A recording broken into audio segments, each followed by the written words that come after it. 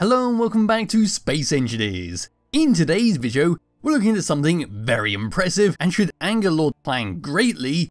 This is the chain elevator, which is this lovely thing sitting right behind me. So this is a very large elevator that goes up four separate floors, and it's all done via this chain system that features blast door edge blocks on steel blocks on hinges that gets rotated by this part at the top. We'll take a better look at this when I activate it, we actually play around with it. But anyway, moving away from that and pressing F10, finding the chain elevator in the spawn menu, there it is. This thing is 4,879 small blocks using the Heavy Industry DLC pack. We can see a nice lot of information about it on the Steam Workshop page, where it states the 4 floor elevators, 2 meters per second, we've got 2 buttons to make it go up and down and to change directions, we've got connectors and landing gears to make it nice and stable, as well as some more useful information at the bottom. So giving this thing a thumbs up, what we're going to do is have a very quick look around the outside, then we're going to activate it to go all the way up to the top, and then get a better look at it as it's actually moving up and down and how the chain is functioning.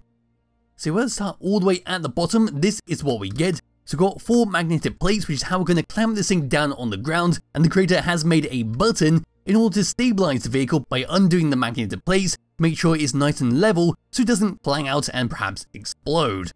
There is a battery to power this thing, and then into the middle, this is one of the wheels that'll spin around and make the chain function. So I put my light on and get a bit closer, whilst there's a large wheel in the middle, but around the outside we can see part of our chain and part of the wheel. So what's just to come over to some steel blocks and then do this. This is our chain, which is going to be coming across onto our wheel, and the other blast door edge blocks is going to be what it's going to connect into to drag it all the way around. The wheel has a very similar setup of blast door edge blocks, steel blocks and hinges, and that's what it looks like from this side. If you were to look at it on this section, this is what's going to rotate it all the way around, so it's a standard rotor onto a cylindrical column that goes across onto a steel block. Now as for the support beams themselves, got the beams that go all the way up, as well as some blast door edge blocks on the corner some structural integrity. If we were to move around onto the side, we can come up to this section where we can see we've got some connectors, which is how our platform is going to connect together and hold itself steady while we're on that floor.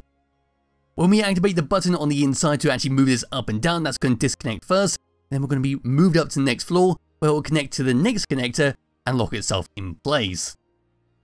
Away from that, looking at this section, this is the chain in all of its glory. So like I said, it just blasts edge blocks onto steel blocks, onto hinges, and it will simply go all the way up to the top, but eventually come up to this section, which is going to be to make the chain nice and taut. So this part is simply some pistons that come across onto some wheels. The wheels will spin around as the chain move up. Now just go all the way up to the very top where we'll see that other wheel that we saw at the start of the video. all the way up to this section, we do have some space balls. We just got five of them in a row. Then going all the way up to the top there, there's the wheel. Then just looking down, that is all we get. So we see our connectors are lining up the side for each floor. And there we go with the outside. But we were to come down and look at the elevator itself, the actual little part that we're going to walk into, this is all we get. So we've got some lights at the top, we have a doorway just in case we need to have an emergency escape and do some maintenance work on the inside. So say this whole thing was enclosed in your base, that's going to be very handy to have. Yes, we've got some lights in here just to light up the darkness. Then on the side, these are the buttons to move it as well as to change its directions. The top one is to activate it to simply move it in its current direction. The bottom one will rotate the rotor with a green V on it, which will dictate the direction it's going to move. And of course we've got a little control panel there just in case you need it. And yes, that's a very quick look around the outside, but without further ado, I think it's time to see it in action. So moving my character into the elevator, we are pointing in the correct direction, we are on the bottom floor, do I need to hit this one? We're going to disconnect our connector, and we're going to move all the way up. We'll simply sit in it for the moment so you can see what's going on. There's going to be quite a lot of sparks, but it is safe because I moved this up and down several times without it breaking. We simply clamp onto the next floor, and we're good to just go out and do whatever. But now what we'll do is just activate it, then bring the free camera up and we can see what's going on with our wheels at the bottom here. Then we'll go take a look at the middle section that's holding it taut. So pressing the button and coming back into the free camera, that's going to spin around and that's how it connects and intertwines with that wheel to spin it all the way around and make the elevator move. If we have to look at it down like so, that's what's going on with it. Just looking at the side, that is very scary to look at. Now do that one more time and I'll move the camera all the way up to this section, we can see how this is working. So once again, pressing the button and then coming across over to here, That's now going to move all the way around. The wheel spins around.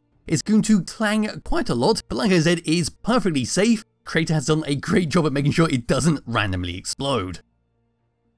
And there we go. And of course, one final thing will be to look at this top section. So back into my character, I can now rotate that all the way down because we need to move down the floor because we're at the top. Pressing that button, back into third person view, that is what we get. Looking at it from this angle, you can see very clearly how that's going in between each of those blast door edge and steel blocks and just dragging itself all the way around to make this thing move down. And there we go. For one final little look, we will go down one more floor. There we go. We'll get a better look from a distance. And that's simply how it's working. It's still very scary to look at because I'm expecting it just to blow up at any point, especially with all the sparks coming off the actual elevator itself. But there we go, that is a very fancy elevator if you want to implement it into your world, implement it into your base, or even just a gigantic ship, if you wanted to. And for one final thing, Beans, I've pretty much covered everything with his elevator, we'll send it down and have a look at it from different angles. But just going to slow down the camera a little bit. And that's simply how it moves all the way down. Until it gets to the next floor, the landing legs will connect in, the connector will connect up, and we're now locked in place and ready to get out. So it's a very, very safe system. We'll send it down once again. And here we go, all the way down. And we see it sort of wobbling around down to the next floor. And it's going to keep going. Apparently it's missed that floor, not too sure what happened there, but we're going all the way to the bottom, which would be then a great way to end this. And there we go. We're now just clamped in place. I can now get out and wander away. And just standing at the bottom and looking up, that's how tall it is compared to my character. Just moving away like so. There we go. It's a very, very tall structure. But yes, like I said, that's pretty much it for what the chain elevator has to offer.